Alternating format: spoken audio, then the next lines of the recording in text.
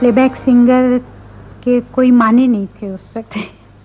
क्योंकि प्रोड्यूसर ये समझते थे कि इनको बुलाया, पैसे दे दिए और वो गए गा के। बस बात ख़त्म हो गई।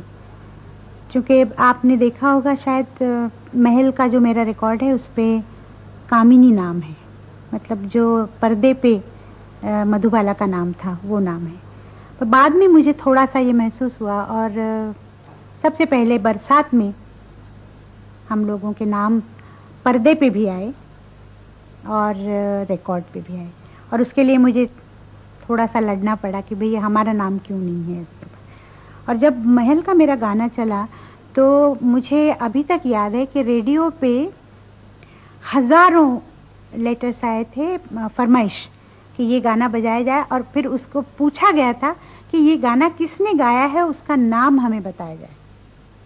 तो एचएमवी में आ, फिर लोगों ने फ़ोन किया रेडियो वाले ने फ़ोन करके कहा कि भाई ऐसे ऐसे हमारे पास आया है। फिर उन्होंने कहा कि ये लता मंगेशकर का गाना है। और वो रेडियो पे अनाउंस किया गया था कि ये लता मंगेशकर ने गाया है। जी उनकी ड्रामा कंपनी थी और वो खुद क्लासिकल सिंगर थे। और ग्वालियर घराने के वो शिष्य थे। और हमारे घर में म्यूज़िक तो दिन रात चलता था क्योंकि वो गाते थे इस वजह से। तो एक दिन आ, क्या हुआ कि मेरे पिताजी किसी को सिखा रहे थे गाना और वो उठ के चले गए बाहर और वो लड़का गा रहा था। तो मैं खेल रही थी बाहर। तो मुझे ऐसा लगा कि ये कुछ ठीक नहीं गा रहा है इसलिए मैं अंदर गई और मैंने कहा ये ऐसा नहीं ऐसा है। गा के मैंने बताया। तो आ, पीछे से मेरे पिताजी आ गए। और उन्होंने सुना। सुन के उन्होंने मेरी मदर को बुला के कहा कि देखो हमारे घर में तो एक अच्छा गवैया है, हमने कभी ध्यान ही नहीं दिया।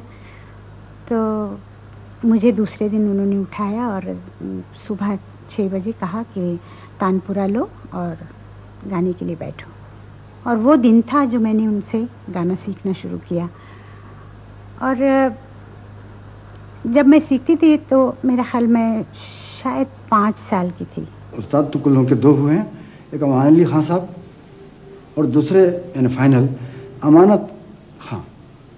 वैसी मुलाकातों में उन्होंने कई मरतबा भाई का ज़िक्र किया कि संध्या साहब, एक लड़की मेरी शागिर्द है।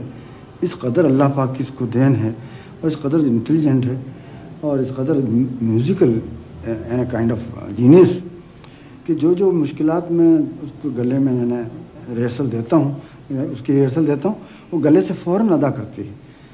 तो मैं दूसरी मुश्किल रात को सोचता हूँ, फिर उनको सिखाता हूँ तो उसको भी वो फ़ौर कह देती हैं। तो मैं इतना परेशान हूँ कि मैं अल्लाह में कौन सी ऐसी बात कहूँ, ऐसी बात उनकी फरमाइश उनसे करूँ कि देखो, ये सरगम कहो, या इस तरह से ये तान कहो, या देखिए इस मुर्की को, या इस इस अंदाज से इस बात को अदा करो। तो वो कह देती थी। सब जगह हम लोग पैसे मतलब उसी वक्त नहीं लेते थे। तो पड़े रहते थे प्रोड्यूसर के पास। कई जगहों पे मेरे पैसे डूब भी गए। तो बाद में जाके हमने ये शुरू किया कि भाई पैसे वक्त पे लेने चाहिए। उसी वक्त ले तो अच्छा है। पर शुरू शुरू में पैसे, पर पैसे कम आने का दुख नहीं था। उस वक्त जो काम हम लोग कर रहे थे ना, उसकी एक खुशी अलग थी। पर काम इतना ज़्यादा था कि सुबह दो गाने किए, दोपहर को दो किए, शाम को दो किए, रात को। तो सुबह निकले, रात के तीन चार बजे घर आए, उस वक्त खाना खाया, फिर सुबह छः बजे उठ के तैयार होके रिकॉर्डिंग पे जाना है तो फिर अपना ट्रेन पकड़ के जाते थे इधर से उधर। क्योंकि एक तो क्लासिकल म्यूज़िक का ज़्यादा ये था घर में, और, मेरे पिताजी बड़े कंजर्वेटिव थे। हमारे कपड़े या पाउडर नहीं लगाना, या मतलब मेकअप नहीं करना, इधर नहीं जाना, उधर नहीं जाना, ये बहुत उनमें था। और उस मतलब वो वक्त भी ऐसा ही था ना, आज से साठ, सत्तर साल पहले मतलब जो भी लोग रहते थे वैसे, और हमारे घर में मतलब मेरी माँ भी वो नौ गज साड़ी पहनती थी, और घर में मतलब बड़ा ही पुराना ये था, ढंग था सब। तो उनको ये फ़िल्म का नहीं अच्छा लगता था। हम लोगों को फ़िल्में देखना मना था। हम चार बहन मैं आ, मीना आशा उषा और भाई हृदयनाथ मिला हम लोग आपस में हम बहुत हम लोगों का प्यार है। हम लोग कभी लड़ते नहीं पर बचपन में लड़ते थे। मैं सबके साथ खेलती थी और मेरे खेल बहुत खराब थे। सच्ची मैं टायर में टायर होता है ना उसके बीच में मैं बैठती थी और लड़कियाँ उसको और पूरे सड़क पे बहुत बदमाशी करती थी। मैं दरख्त पे चढ़ना और अमरूद तोड़ना, आम, और बहुत मैं मशहूर थी वहाँ पे। सारा दिन मैं हाथ में लाठी लेके घूमती थी, सबको मार पीट बहुत मस्ती करते थे हम लोग। तो पिताजी क्या करते थे कि जब उनको मालूम होता था कि ये बहुत ज़्यादा हो रहा है तो बुलाते थे हम सबको सबको खड़ा करते थे। और सिर्फ़ देखते थे हमारी तरफ़। तो हम लोग सब रोने लगते थे। तो मुझे पूछते थे, समझ गई? मैंने क्यों बुलाया था? हम लोग कहते थे हाँ समझ गए अच्छा जाओ अब बस, इतना हमारे लिए था। मार तो पड़ी है माँ से। बहुत मारती थी, पकड़ के। और उसके हाथ में ना काफ़ी सोने के सब ये होती थे, कंगन और ये सब। हमारे जो मराठी लोग पहनते हैं ना पाटली और गोट और ऐसे बहुत भारी भारी होता है। तो वो जब यूँ आके पीठ पे पड़ता था ना तो मैं तो यूँ बैठ जाती थी। एक दिन मेरी माँ ने कहा, नौकरानी को कहा कि जाके ज़रा साबुन ले आ दुआनी का। तो वो वापस आया, कहने लगे, ये दुआनी झूठी है, वो ले नहीं रहा है। तो मैं जानती थी उस दुकानदार को, उसका नाम चिलिया था। तो मैंने कहा, ला, मैं लाती हूँ। और मैं भागी। मैं भाग के गई। और उसको कहा, चिला, सौंप दो। उसने कहा अच्छा। उसने दिया तो मैं तो मेरे पिताजी का बहुत नाम था और वहाँ बहुत लोग जानते थे। तो मैंने कहा, देख, ये पैसे डाल रही हूँ। उसकी पेटी में मैंने पैसे डाल दिए। तो वो झूठे थे। तो डाल के और मैं साबुन लेके घर आई। मैंने कहा, देख, मैं लेके आई। तो मेरे पिताजी ने सुना। मैंने, कैसे लेके आई तुम तो मैं चुप हो गई। तो मेरी माँ ने कहा, बता कैसे लेके आई? मैंने कहा, वो मैं डाल के आई वहाँ पैसे पहले झूठे थे? हाँ अच्छा पहले ये दुआने ले, जा। और उसकी माफ़ी मांग। और ये पैसे उसको दे के तो फिर तो ख़त्म हो गया किस्सा। मैंने तो बैठ के रोना शुरू किया। मैंने कहा, मैं तो नहीं जाऊँगी। अब इतना बड़ा ये करके आई हूँ मैं, तूफ़ान, और अब जाके मैं माफ़ी मांगू। मैं कहा, मैं तो नहीं जाने वाली मेरे पिताजी ने कहा, नहीं, तुमको जान, जाना पड़ेगा। मृत्यु के बाद मेरे ख्याल से एक महीने के अंदर फिर मैंने नौकरी की।